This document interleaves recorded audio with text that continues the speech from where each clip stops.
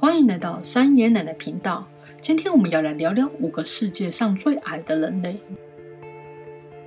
五，露西亚·查瑞特。露西亚于一八六四年出生于墨西哥，十七岁时便进入吉尼斯世界纪录，成为有史以来最轻的人，当时体重为二点一公斤。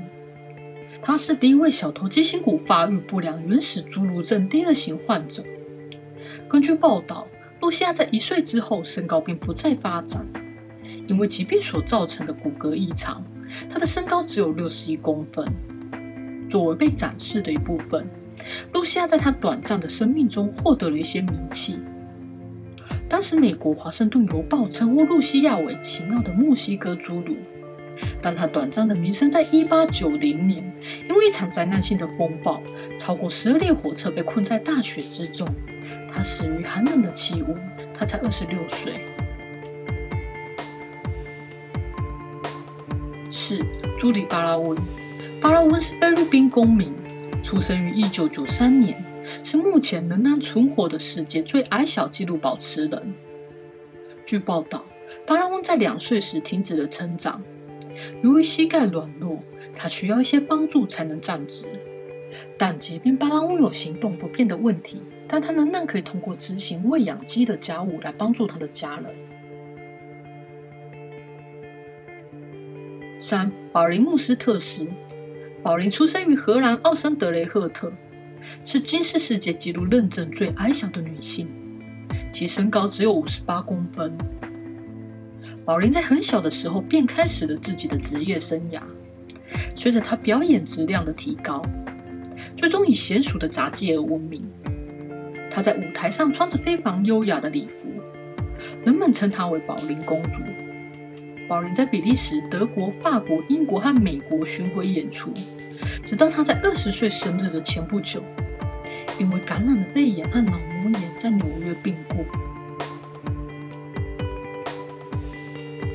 二古尔穆罕默德，古尔穆罕默德是印度公民，于一九五七年出生于新德里，一九九二年被列入吉尼斯世界纪录，曾经是当时世界上最矮的人。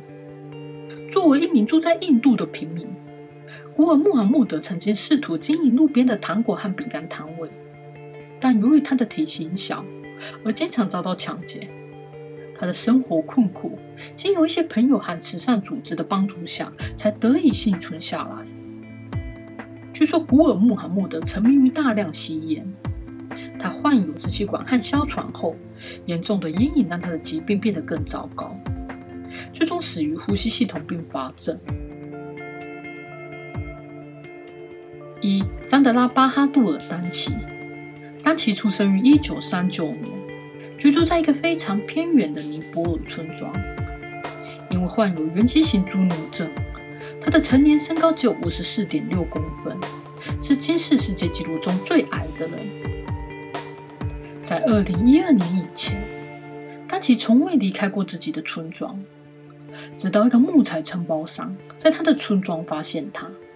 承包商向金氏世界纪录推荐了丹奇的身高，并引来当地媒体关注。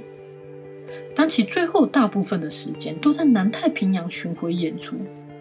二零一五年，他与图帕布鲁诺的魔术马戏团一起旅行时感染了肺炎，不久后病故。但他的确切死因并未被透露。谢谢您的收看，本集节目就到这里结束。如果喜欢我们的影片，请帮我按赞、加分享、订阅频道，我们将持续更新。我们下回见，拜拜。